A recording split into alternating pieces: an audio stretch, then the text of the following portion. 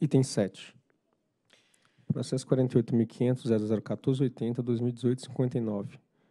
Trata-se de recursos administrativos que foram interpostos pelas distribuidoras Companhia Paulista de Força e Luz, a CPFL Paulista, Companhia Jaguari de Energia, CPFL Santa Cruz e Electro Redes S.A., em face do despacho 1150 de 2018, que fora emitido pela Superintendência de Regulação do Serviço de Distribuição, que alterou o tempo para o faturamento da energia elétrica destinada à iluminação pública e das vias internas de condomínios de 38 municípios da região de Bauru, Estado de São Paulo.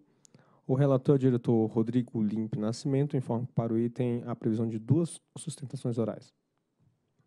Em 10 de novembro de 2017, por meio do ofício 2563 de 2017, o Ministério Público Federal, por meio da Procuradoria da República no município de Bauru, protocolou na ANEL pedido de adequação nos tempos de faturamento do sistema de iluminação pública de 38 municípios da região de Bauru, no estado de São Paulo.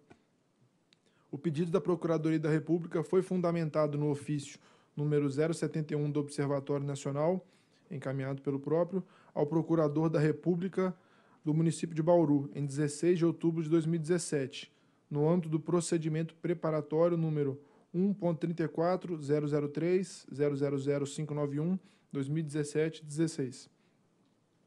O pedido foi recepcionado na Procuradoria Federal junto à ANEL que emitiu o parecer número 62 de 2018, aprovado em 7 de março de 2018, opinando pela legitimidade do Ministério Público Federal para requerer administrativamente a utilização de estudo do Observatório Nacional para fins de faturamento de iluminação pública, complementando com a recomendação de que as distribuidoras responsáveis pelo fornecimento de energia nos municípios relacionados fossem formalmente intimadas a participar do processo de alteração do tempo de faturamento do sistema de iluminação pública.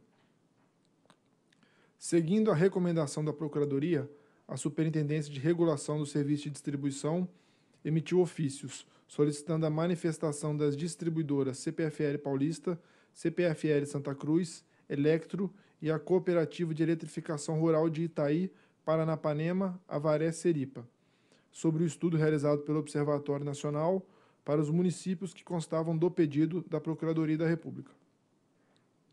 Após as manifestações da empresa, contrárias ao laudo eh, do Observatório Nacional, a SRD avaliou a questão, consolidando a análise na nota técnica 57-2018, de 23 de maio de 2018. Fundamentada na competência prevista no artigo 1 inciso, inciso 1 da portaria número 4845 de 2017, a SRD decidiu acatar o pleito do Ministério Público Federal e publicou o despacho 1150 de 2018, com a seguinte decisão: aprovar que os tempos do anexo 1 sejam considerados para o consumo diário para fins de faturamento da energia elétrica destinada à iluminação pública e à iluminação de vias internas de condomínios nos respectivos municípios.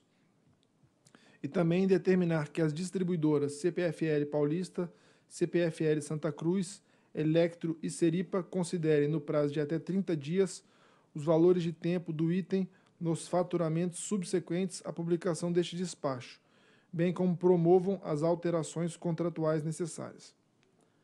Por meio das cartas número 124, é, 060 e 089 de 2018, ambas todas protocoladas em 4 de junho de 2018, as distribuidoras CPFL Paulista, CPFL Santa Cruz e Electro interpuseram tempestivamente recursos administrativos em face do despacho número 1150 de 2018.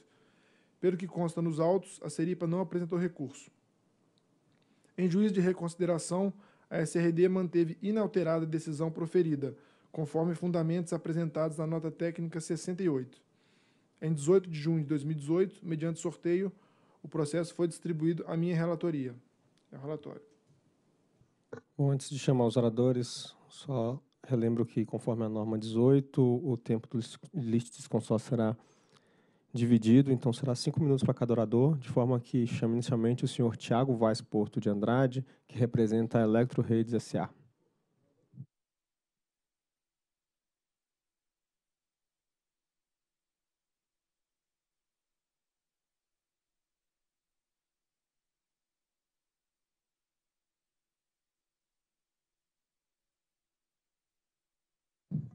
Alô? primeiramente, bom dia a todos. É, eu acho que o primeiro ponto é que não tem como negar que o estudo do Observatório Nacional é legítimo. Ele é um instituto vinculado ao Ministério de Ciência, Tecnologia e Inovação e ele é responsável, de fato, pela apuração e determinação do tempo de iluminação pública, conforme já previsto no artigo 24º, parágrafo 1 da Resolução 414 de 2010. Entretanto, há que se observar todas as premissas e pendências apontadas por esse próprio estudo. Então, para fazer isso, eu trago aqui alguns trechos desse, desse ofício para que a gente possa discutir e deliberar um pouco mais sobre isso. É... O primeiro ponto, ele já no primeiro parágrafo, fala da tolerância estimada de média, que é de, no mínimo, mais 11 minutos. Essa tolerância leva em conta somente a variação da fotocélula. O que é que isso significa? Que o tempo, na verdade, que está na tabela, ele varia, por exemplo, para dois municípios da Electro, de 11,35 para 11,46. Bom, diante disso, se o próprio estudo já indica uma tolerância média, por que, que a gente vai considerar sempre o menor valor possível e não considerar esse valor da tolerância? Mais adiante, a gente passa para um próximo parágrafo, que ele é, levanta dois pontos que a gente deve destacar. O primeiro, vou ler exatamente como está escrito, abre aspas. Cada amanhecer ou anoitecer com um tempo nublado ou chuvoso pode fazer com que o tempo de iluminação artificial aumente de muitos minutos. Por esse exemplo, pode-se facilmente observar um aumento de 30 a 60 minutos. Fecha aspas. Então, baseado nisso, a gente tentou trazer aqui alguns dados para indicar qual é o tempo de é, de dias, quantidade de dias no ano que a gente tem é, nublosidade ou parcialmente nublados na região de Bauru. Então, eu trouxe aqui dados da Meteoblue. A Meteoblue é um instituto que busca dados meteorológicos dos últimos 30 anos. E ele, eu retirei esse gráfico exatamente do site deles, que ele mostra a quantidade de dias de sol parcialmente nublados e nublados é, dessa localidade. E aí eu consegui constatar que 135,5 dias de sol são num ano é, nessa região e os outros 229,8 são dias nublados ou parcialmente nublados. Então, voltando aos dados do ofício, se a gente fizer uma conta, seguindo os mesmos critérios que tem no ofício, a gente teria um acréscimo na média de 3 a 6 minutos é, no, no tempo de iluminação artificial no mês. É, esse item ele é tão relevante para o ofício, ele dá um destaque tão grande no ofício, que ele apareceu 25 vezes nas 18 páginas que o ofício apresenta. Então, ele sempre dá o destaque que todas as premissas adotadas foram em tempos de é, em condições de tempo bom. Ou seja, ele dá essa ênfase em todas essas partes, esse trecho é grifado para dar a sua devida ênfase e mostrar que o estudo mostra um tempo que é o menor possível. Passando adiante, ainda naquele ponto, o relatório é, ele fala um pouco sobre a topologia local. E aí, para isso, eu trago mais um item que ele detalha, que é o item 8.3, que ele ressalta que todas as premissas adotadas não se levam em consideração a topologia local. Ele considerou uma situação perfeita, que não houvesse sombras, prédios, árvores, nem tampouco túneis, qualquer coisa que possa afetar a iluminação pública. Então, ainda destacando um trecho do ofício, ele aponta: é preciso realizar medidas para relacionar a topologia local com o tempo médio de iluminação pública. Então, ele já demonstra que precisa ter algum estudo aprofundado para identificar qual é esse impacto. Ainda no item 8, ele lista vários itens que, em caso de condições de tempo bom, ainda haveria um impacto no tempo que é apresentado por eles. E aí eu trago mais dois desses itens. Um deles é o item 8.4, que fala da calibração das lâmpadas.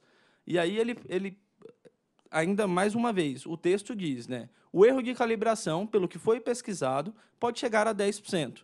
E aí, no final, ele conclui, Nessa situação, teríamos uma variação da média anual de tempo de iluminação pública de cerca de 12 minutos para latitudes em torno de 20%.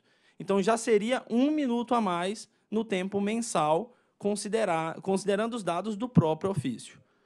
Mais um item é, a colocação da fotocélula, que ele fala que um pequeno desvio angular no posicionamento da fotocélula vai alterar em muitos minutos o horário de acionamento do desligamento é, controlado por essa fotocélula. Então, assim, se a instalação não for adequada, não for completamente é, bem feita, haveria um impacto e um aumento na iluminação pública. Esse é um fator que também a gente não consegue estimar qual seria o impacto. Então, assim, diante de tudo isso, será que o tempo mesmo que a gente deve observar é o menor tempo da tabela? E aí eu trago um trecho, que é o, a conclusão do ofício, que aí eu vou ler exatamente, transcrever exatamente como tem. Abre aspas. Obtivemos, assim, um valor da média que é o menor possível. Ao se levar em conta os dias nublados e chuvosos, o valor apresentado será ainda maior. Então, ele demonstra sempre que o tempo que ele apresentou na tabela é o menor tempo possível. E, no próprio ofício, ele traz dados como a meteorologia, a calibração e o, a tolerância da média, que, se a gente puxar 11 minutos da tolerância, 6 minutos do, dos dias nublados, cálculos utilizados por eles, e 1 minuto da calibração, a gente teria que acrescentar pelo menos, só levando esses três fatores em consideração, 18 minutos ao tempo da tabela. Então, a gente demonstra aqui, com os dados do próprio ofício, que é, cabe incluir alguns tempos que o ofício aponta, mas não inclui nos dados dele. Então, é, o relatório ele deixa claro, a gente não quer fugir desses dados, mas ele demonstra, de fato, que o tempo que ele estima, que ele considera, é o menor tempo possível e ele dá subsídios para que a gente consiga trazer um tempo maior do que esse. Muito obrigado. Convido na sequência o senhor Carlos Brandão, que representa a Companhia Paulista de Força Luz CPFL, para fazer uso da palavra na tribuna.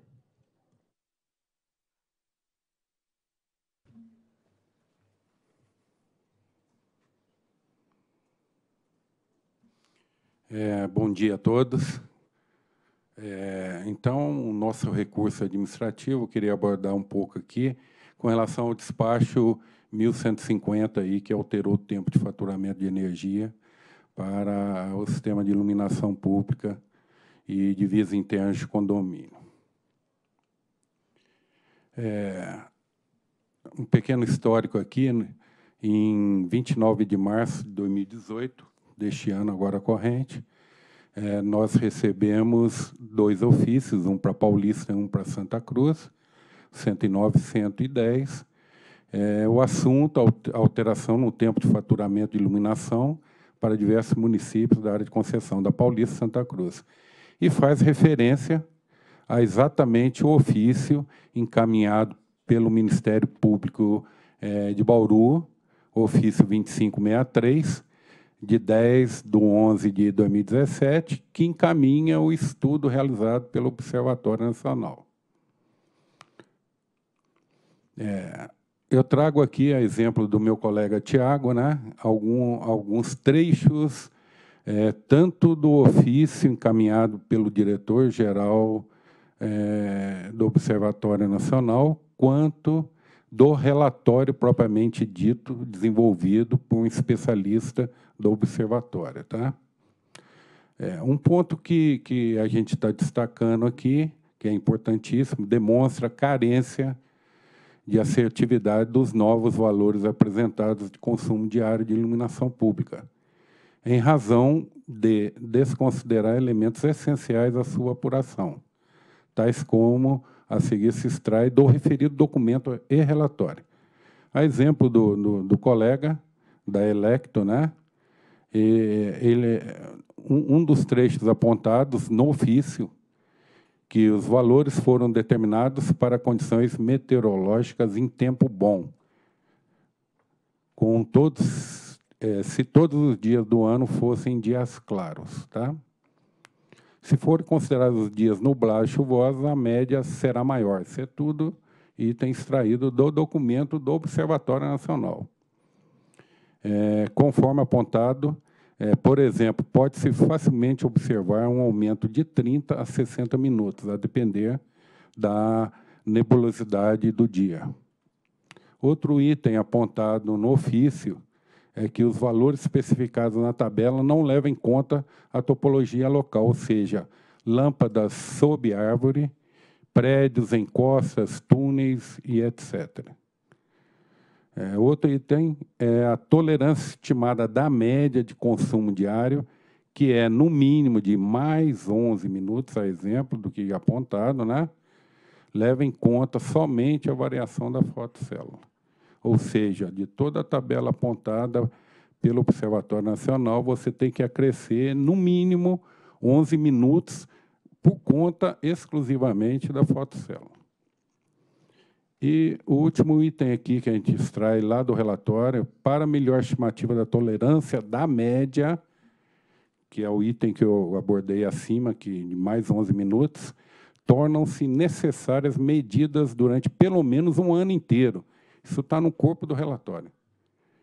E em maior diversidade de locais. Obtivemos, assim, um valor da média que é o menor valor possível ao se levar em conta que os dias nublados e chuvosos, o valor apresentado será ainda maior. Aí, agora, eu trago alguns pontos aqui, algumas considerações do grupo CPFL. É, primeiramente, a gente aponta aqui a necessidade de observância do princípio do contraditório, da ampla defesa e do devido processo legal, uma vez que a empresa não teve a oportunidade de apresentar um estudo que fizesse é, um confronto aí com, com, com o estudo do Observatório Nacional, em que pese a gente considerar que o Observatório é a pessoa, é o órgão competente para se fazer o estudo. Mas as próprias excepcionalidades apontadas é, nos caminha, no, nos endereça para um estudo mais aprofundado. Aí a gente traz aqui é, que a regra geral apontada pela Resolução 414, artigo 24, seu caput é de 11 horas e 52 minutos.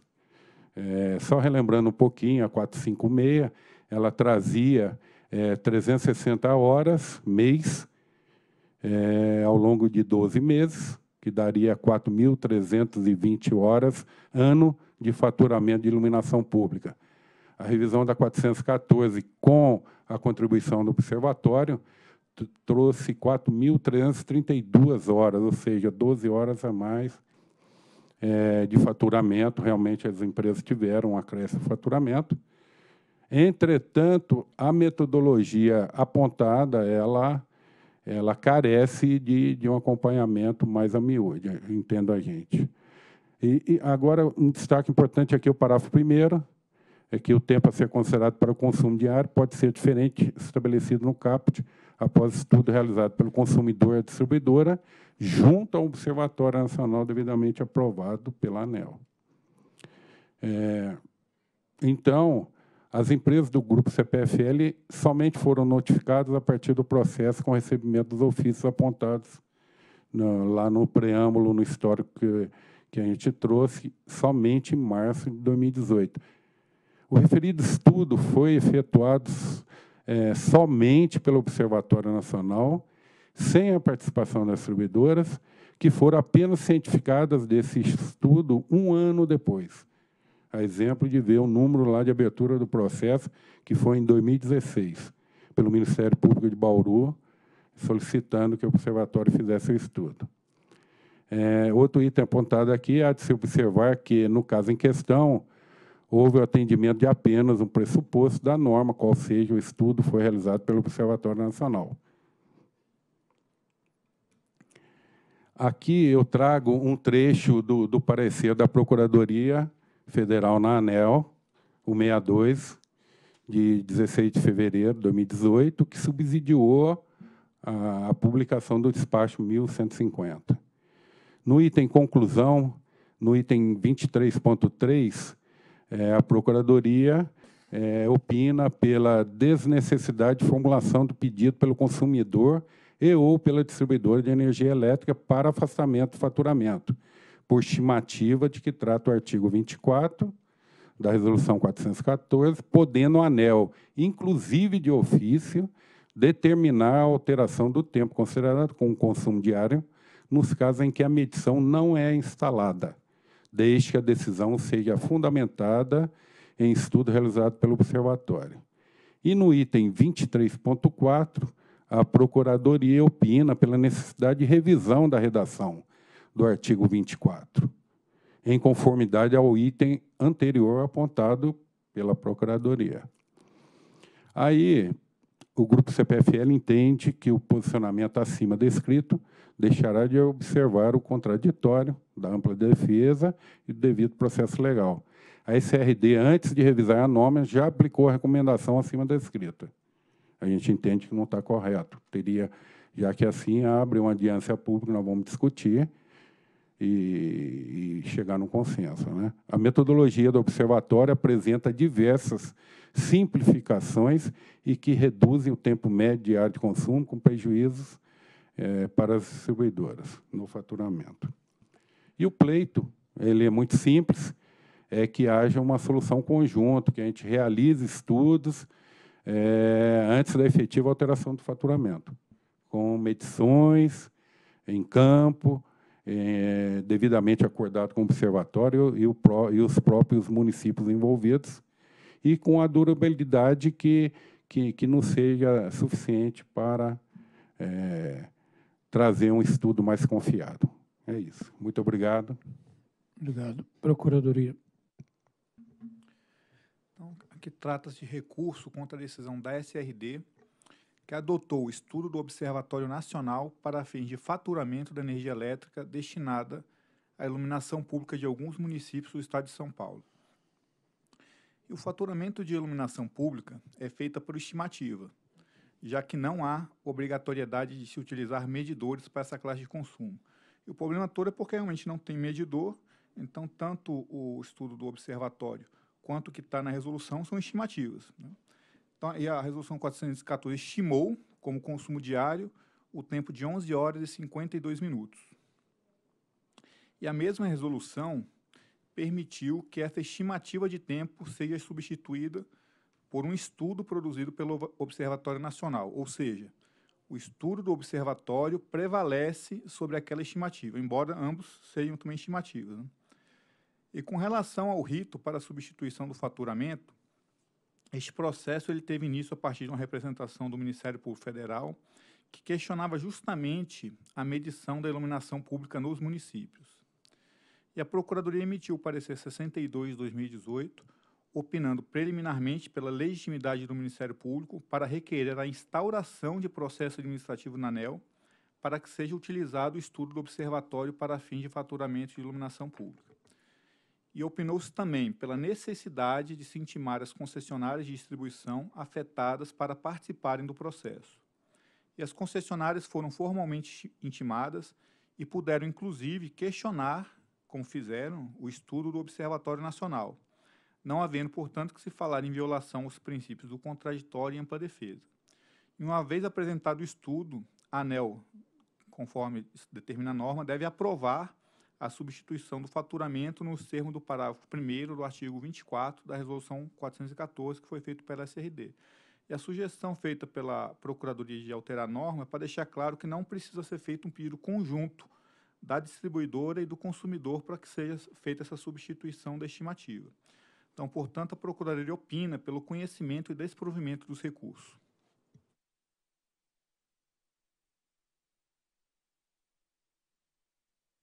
Para melhor avaliação das razões recursais, é pertinente transcrever o dispositivo da Resolução Normativa 414 que regulamenta o assunto.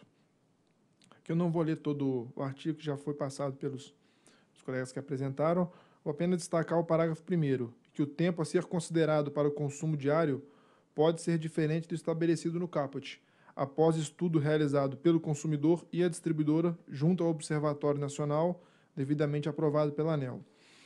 A decisão proferida pela SRD afetou o faturamento relativo ao consumo de energia no sistema de iluminação pública de 38 municípios, localizados no estado de São Paulo, conforme tabela 1. Conforme detalhado na nota técnica 57 de 2018 e no anexo 1 do despacho 1150 de 2018, o tempo de consumo para faturamento por estimativa de iluminação pública foi reduzido para todos os municípios, variando entre 11 horas e 36 minutos diários e 11 horas e 32 minutos diários, a variação entre 2,2% e 2,8%. Nos recursos apresentados, as distribuidoras CPFL Paulista, CPFL Santa Cruz e Electro alegaram, em síntese, que o despacho 1150-2018 deveria ser revogado, pois teria ocorrido violação da Resolução Normativa 414-2010 e inobservância dos princípios do contraditório, da ampla defesa e do devido processo legal.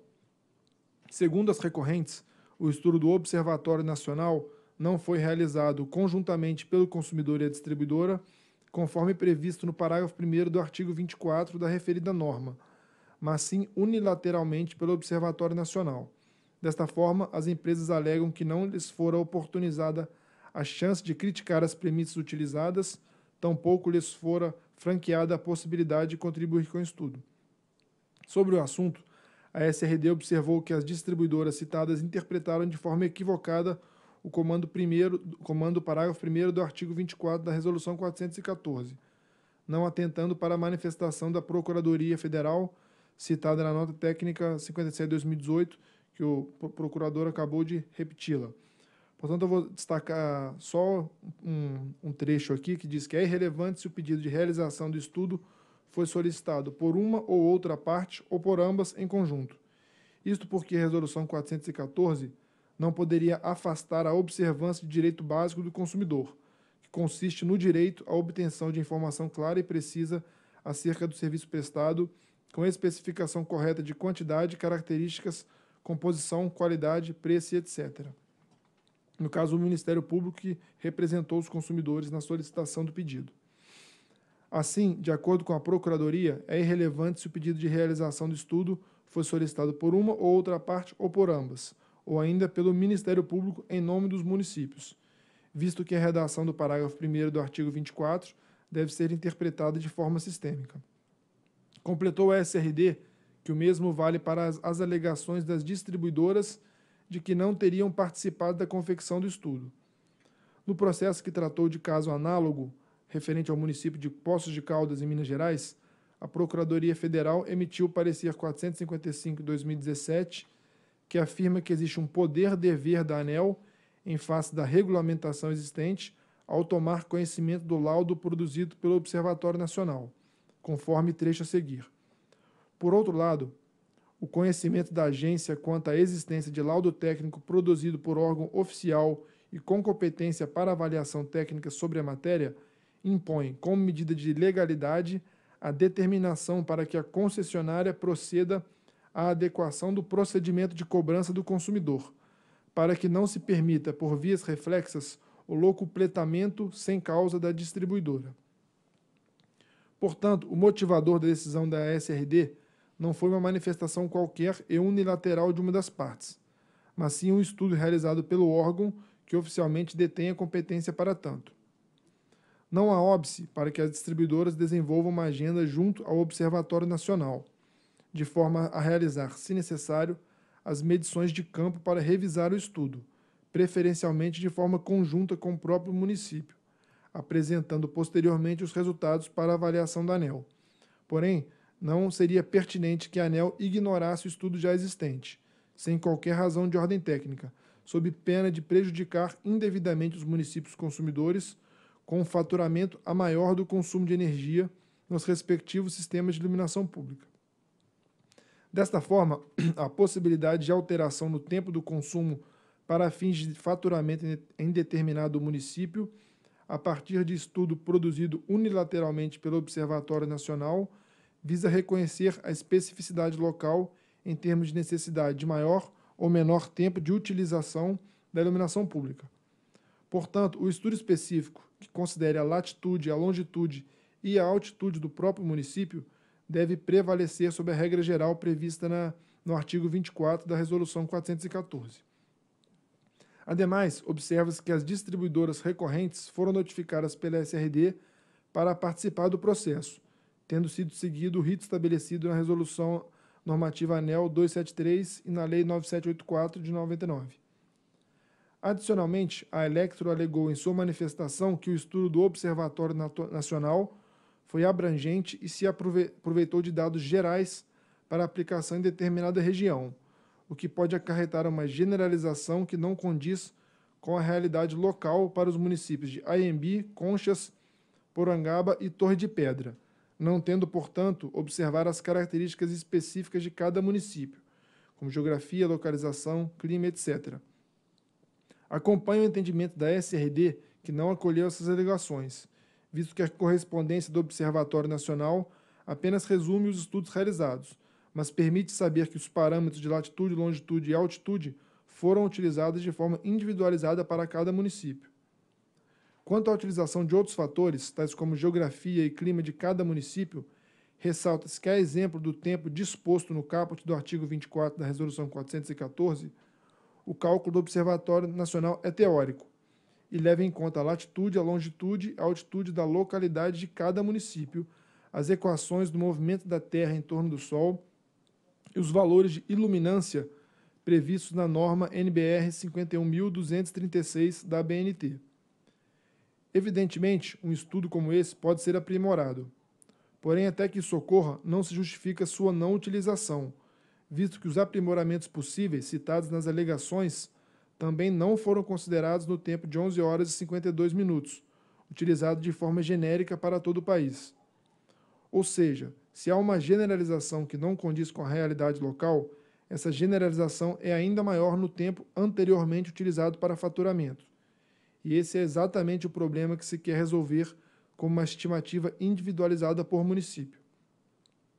A SRD observou ainda que as distribuidoras não citam em suas manifestações do processo nenhum fator que poderia reduzir o faturamento de iluminação por estimativa, como, por exemplo, a redução da luminosidade no decorrer da vida útil das lâmpadas e a redução do consumo dos equipamentos auxiliares, comumente considerados em sua potência nominal durante toda a vida útil. Outros fatores não considerados que podem reduzir o faturamento do sistema de iluminação pública são as interrupções de fornecimento ocorridas no período noturno e o nível de tensão entregue pelas distribuidoras. O que ocorre na prática é o uso de uma estimativa mais específica do que a anteriormente utilizada para o tempo de consumo nos municípios que foram objeto de estudo, mais específica em relação à estimativa da norma. O consumo efetivo dos pontos de iluminação é desconhecido, e só poderia ser conhecido caso a distribuidora investisse na instalação de medição exclusiva para as redes de iluminação pública. Neste sentido, as afirmações da CPFL de que a utilização de média proposta pelo Observatório Nacional traria como consequência faturamento de energia elétrica com valores inferiores em relação aos consumos efetivamente havidos pelos pontos de iluminação, acarretando assim a elevação do montante de perdas não técnicas apuradas pelas distribuidoras também não devem ser acolhidos, pois são suposições desprovidas de comprovação técnica. Diante do exposto e do que consta no processo 48.500.00.1480.2018.59, voto por conhecer e, no mérito, negar provimento aos recursos administrativos interpostos pelas distribuidoras CPFL Paulista, CPFL Santa Cruz e Electro Redes em face do despacho 1150 de 2018, emitido pela SRD. Em discussão. É, acho que fazer só um comentário que essa, esse ponto é um ponto realmente bastante controverso sempre entre a distribuidora e a prefeitura. Né? Então, e por mais que façamos qualquer eh, esforço para melhorar os estudos, eles serão sempre estudos até que tenhamos a medição efetiva. Estou entendendo que a utilização do estudo feito pelo Observatório Nacional, em que pese alguns melhoramentos que ah, os, os representantes das distribuidoras fizeram, nos parece que é uma aproximação melhor do que o que vinha sendo tradicionalmente utilizado. E eu acho que a, o encaminhamento que o, que o Rodrigo está colocando, no sentido de que as distribuidoras procurem o Observatório Nacional, apresentem suas premissas e, eventualmente, o estudo possa ser revisto, isso está sempre aberto. É isso, né, Rodrigo? Exatamente. Essa é o, é a ideia do processo, é trazer uma estimativa mais é, adapta à realidade do que a da norma. E a, um novo estudo, naturalmente, seria bem-vindo. Quanto mais preciso, melhor naturalmente incorporaremos na, na determinação ao período de faturamento pela distribuidora aos municípios. Ok. Em votação. Acompanhe o relator. Eu voto com o relator. Também voto com o relator. Proclamo que a diretoria decidiu por conhecer e, no mérito, negar provimento aos recursos administrativos interpostos pela distribuidoras Companhia Paulista de Força e Luz, CPFL Paulista, Companhia Jaguari de Energia, CPFL Santa Cruz e Eletro Redes SA, em face do despacho 1150-2018, emitido pela SRD. Próximo item.